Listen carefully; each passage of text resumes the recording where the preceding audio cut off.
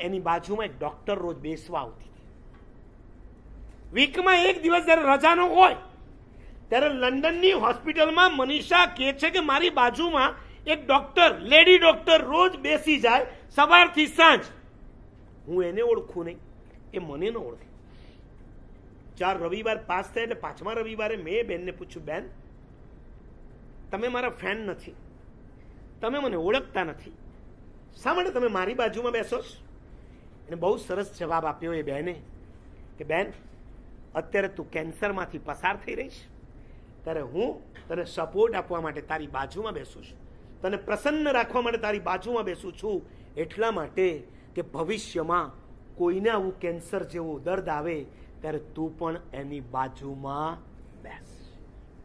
આ પ્રસન્ન થશે કેન્સર જેવી બીમારીમાં પણ મનને પ્રસન્ન રાખવું એટલે ફિનિશ ફિનિશ આપણને તો સવારે ઉઠીએ અને અહીંયા જરાક ગાંઠ જેવું થાય. હા, આમ તમે હેરસ્ટાઈલ કરતા હો ને અચાનક તમારી ગળા પર આ આરીસામાં નજર ગઈને ગળામાં ગાંઠ દેખાય. પછી તમે આમાં આમ કર્યા કરો, એટલે મમ્મી પૂછે, શું છે? મમ્મી જોતો હોય કંઈક દેખાય છે, ખલાસ. પછી મમ્મી પપ્પાને કહે, પપ્પા ભાઈને કહે, ત્યાં સુધીમાં તો આ ગાંઠ શેની ગાંઠ બની ગઈ હોય? હે ટીબીની તો નહીં હોય?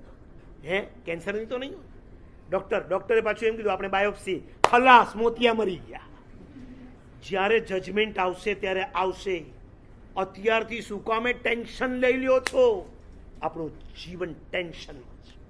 અને પ્રસન્ન માણસને ક્યારે ટેન્શન ના આવે ને ટેન્શનમાં હોય ક્યારે પ્રસન્ન રહી ન શકે. પ્રસન્ન રહેવું છે ટેન્શન કો માર ગોલી. તમારી દુનિયાનું સૂત્ર છે ને ટેન્શન લેને કા નહીં.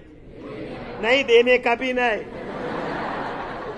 जो देता है वही तुमको मिलता है તમે જે આપો છો તમે જ બોલ્યા હતા ને જેવું વાવો તો બીજાને ટેન્શન આપો તો તમને શું આવવાનું છે अपना ये सूत्र नहीं है टेंशन देने का भी नहीं और टेंशन नंबर चार I is equal to P is equal to C is equal to chairman and C પાછા પ્રોબ્લેમ તમે જે જૂનું બોલી ગયા છો, એમાંનું એક નહીં બોલતા. એ હોય તો હું અત્યારે જ કહી દઉં. હજી એક નવું શોધો. નો ચેરિટી નો ક્લેરિટી કન્ટેનમેન્ટ નો જેની તમને બહુ જરૂર છે. જે બનવાની તમારે હવે બહુ જરૂર છે. એ નો, તમે બનશો તો સીએમાં નો પ્રોબ્લેમ ફાઇનલમાં નો પ્રોબ્લેમ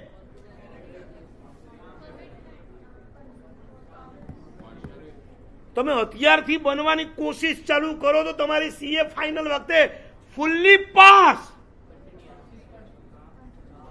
મેન બનવાનું છે મેન તમે મેન માટેનો શબ્દ શોધો. ચલો ટાઈમ ઓછો છે, હું જ કહી દઉં. ને તમે મારો અહીંયા એક વગાડી દેશો. સી. કહી દઉં. પાસ. ક્લેવર મેન.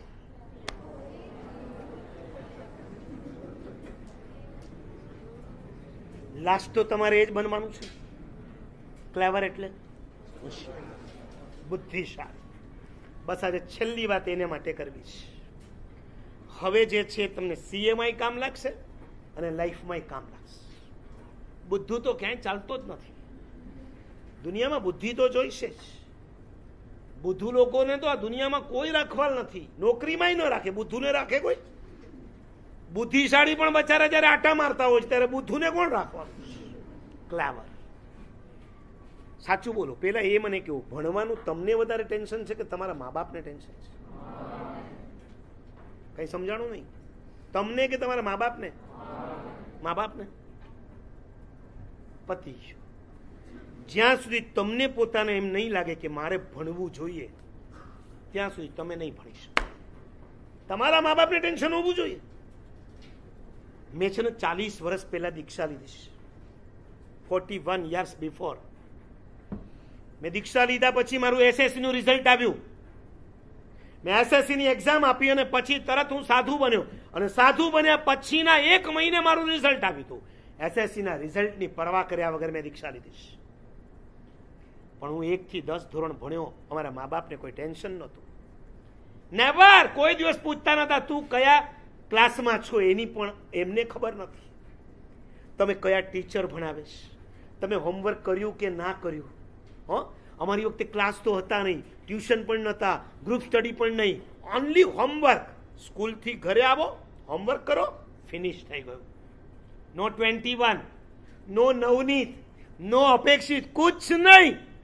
ગાઈડ તો રાખવાની નહીં. ભૂલમાં એક દિવસ હું કોકની ગાઈડ લઈને આવ્યો, મારા મોટા ભાઈએ મને એક લાફો માર્યો. ખબરદાર જિંદગીમાં ક્યારેક ગાઈડને પરવશ નહીં બનો. તમે ગાઈડને પરવશ બન્યા અપાહિશ થઈ ગયા